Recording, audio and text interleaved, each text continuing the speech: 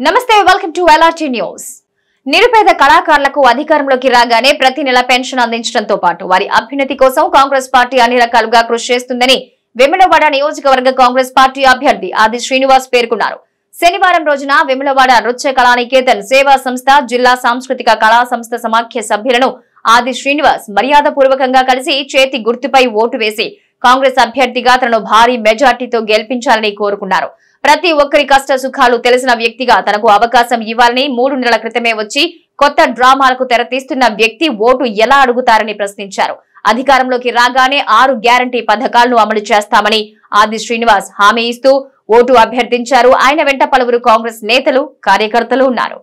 ముఖ్యమంత్రి కేసీఆర్ ఆధ్వర్యంలో BRS party ప్రవేశపెట్టిన పలు సంక్షేమ పథకాలే ప్రజలకు శ్రీరామ రక్ష అని ప్రజల కష్ట సుఖాలు తెలిసిన వ్యక్తిగా తనను గెలిపించాలని కోరుతూ కోనరావుపేట మండలం నిమ్మపల్లి గ్రామంలో శనివారం రోజున భారత రాష్ట్ర సమితి అభ్యర్థి లక్ష్మీ నరసింహారావు ఇంటింటికి తిరుగుతూ ఓట్ల ప్రచారంలో పాల్గొన్నారు.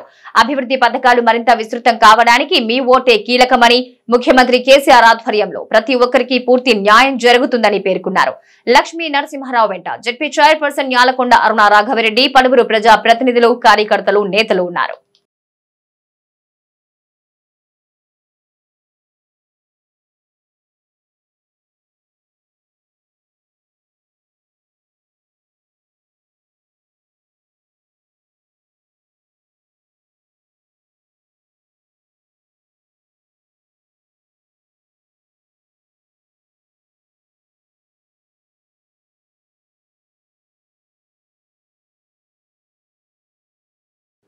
కష్టపడి అనేక మంది బలిదానాల వల్ల సాధించుకున్న తెలంగాణ రాష్ట్రంలో ప్రముఖ కంపెనీలను కాంగ్రెస్ పార్టీ కర్ణాటక అధ్యక్షుడు డికే శివకుమార్ బెంగళూరుకు తరలించడానికి ప్రయత్నిస్తున్నాడని దీని ఎట్టి పరిస్థితుల్లో అడ్డుకుంటామని ఐటీ పురపాలక శాఖ మంత్రికి తారక రామారావు పేర్కొన్నారు. కాంగ్రెస్ పార్టీ ద్వంద్వ నీతి ఇక్కడే బయటపడుతుందని తెలంగాణ ప్రజల నోట్లో మట్టి కొడుతూ డికే శివకుమార్. ఫాక్స్కాన్ వంటి కంపెనీలను కేంద్రానికి లేఖలు రాసి బెంగళూరు తరలించే ప్రయత్నం ప్రజలు గమనించాలని మంత్రి కేటీఆర్ పిలుపునిచ్చారు. ఈ పోయిన నెల అక్టోబర్ ఇరవై ఐదు నాడు లేఖ రాసిండు. ఆయన పేరు డీకే శివకుమార్. ఈ మధ్యన మీరు చూసే ఉంటారు. కర్ణాటక నుంచి వచ్చి కాంగ్రెస్ పార్టీకి ప్రచారం చేసింది ఇది నేను మీ అందరికీ కూడా నేను సర్క్యులేట్ చేయమని చెప్పి మన మిత్రులందరికీ కూడా నేను ఇస్తాను. ఈ లేఖ ఎవరికి రాసిండా అంటే ఫాక్స్కాన్ అనే కంపెనీ ఉంటుంది. వాళ్ళు ఈ యాపిల్ ప్రోడక్ట్స్ అన్ని వాళ్ళే తయారు చేస్తారు. యాపిల్ యాపిల్ ఫోన్లు ఎయిర్పాడ్స్ అదేవిధంగా యాపిల్ సంస్థ వాడే చాలా చాలా పరికరాలు వాళ్ళే తయారు చేస్తారు. కేవలం యాపిలే కాదు. ఇంకా చాలా ఎలక్ట్రానిక్ ప్రోడక్ట్స్ అన్నీ కూడా వాళ్ళే తయారు చేస్తారు. ఒక్క చైనాలో పదిహేను లక్షల మందికి ఉద్యోగాలు ఇచ్చింది ఈ ఫాక్స్కాన్ అనే సంస్థ. చాలా పెద్ద సంస్థ.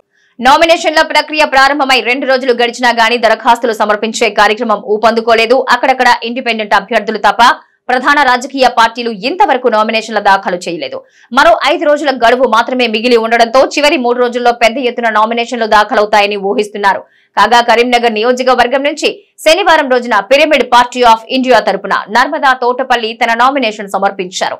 అనంతరం ఆమె మాట్లాడుతూ ప్రజలకు శాంతి సహనం సుపరిపాలన అందించడమే పిరమిడ్ పార్టీ లక్ష్యమని తనను ప్రజలు ఆదరించి అసెంబ్లీకి పంపాలని కోరారు. అసెంబ్లీ ఎన్నికల నేపథ్యంలో యువతను ఆకర్షించడమే ముఖ్య లక్ష్యంగా అధికార భారత రాష్ట్ర సమితి తన ప్రచారాన్ని ముమ్మరంగా నిర్వహిస్తోంది. ఇప్పటికే సిరిసిల్ల వేములవాడ నియోజకవర్గం వర్గాలకు ప్రయోజనం చేకూర్చే విధంగా ముఖ్యమంత్రి కేసీఆర్ బహిరంగ సభను ఏర్పాటు చేసి అధికార పార్టీ తాజాగా వెములవాడ పట్టణంలో సోమవారం రోజున యువ గర్జన సభ నిర్వహించడానికి అన్ని ఏర్పాట్లు సిద్ధం చేస్తోంది. దీనిలో భాగంగా శనివారం రోజున పలువురు భారత రాష్ట్ర సమితి యువత విభాగాల ప్రతినిధుల ఆధ్వర్యంలో పోస్టర్ ఆవిష్కరించారు. పార్టీ కార్యనిర్వాహక అధ్యక్షుడు మంత్రి కె తారక రామారావు హాజరవుతున్న యువ గర్జన సభకు నియోజకవర్గంలో అన్ని గ్రామాల నుంచి యువతను తరలించడానికి ఏర్పాట్లు చేశారు. సభను పెద్ద ఎత్తున విజయవంతం చేయాలని పలువురు నేతలు కోరారు.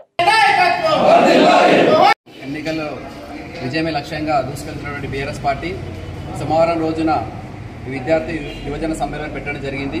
దీనికి వేమవాడ నియోజకవర్గంలోని విద్యార్థులు యువకులు అత్యధికంగా హాజరై ఇటు యొక్క సమావేశాన్ని విజయవంతం చేయాల్సిందిగా మేము కోరుతున్నాము.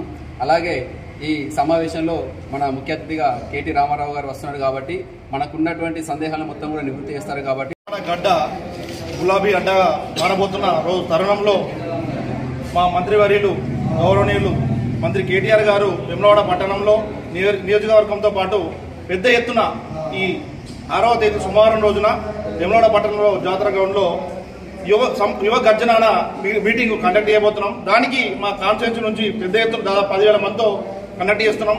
దానిలో భాగంగా వేములవాడ పట్టణంలో కూడా దాదాపు రెండు వేల నుంచి మూడు వేల మంది పెద్ద ఎత్తున వార్డు వార్డు నుంచి తరలి వస్తున్నారు రాబోయే రోజులలో మా గౌరవ ముఖ్యమంత్రి వారు మళ్ళీ ముఖ్యమంత్రి కావాలని మా ఇక్కడ వెమ్మడ నియోజకవర్గ అభ్యర్థి లక్ష్మీనరసింహ గారు ఎమ్మెల్యే కావాలని కోరుకుంటూ సోమవారం రోజున వేములవాడ గడ్డ మీద యువజన మరియు విద్యార్థి సంఘాల ఆత్మీయ సమ్మేళనానికి ముఖ్య అతిథిగా విచ్చేస్తున్న కేటీఆర్ గారికి అలాగే వేములవాడ కాబోయే శాసనసభ్యులు డాక్టర్ చెన్నమనేని రమేష్ చెలిమడి లక్ష్మీనరసింహారావు గారికి అలాగే ప్రణాళిక సంఘం ఉపాధ్యక్షులు వినోద్ కుమార్ గారికి స్వాగతం పలకడానికి ఈ ఈ కార్యక్రమాన్ని విజయవంతం చేయడానికి వేములవాడ నియోజకవర్గంలో ఉన్న అన్ని గ్రామాల నుంచి పెద్ద ఎత్తున యువకులు విద్యార్థులు తరలివచ్చి ఈ కార్యక్రమాన్ని విజయవంతం చేయవలసిందిగా కోరుకుంటూ అలాగే తెలంగాణ ఇవి ఈనాటి న్యూస్. నమస్తే.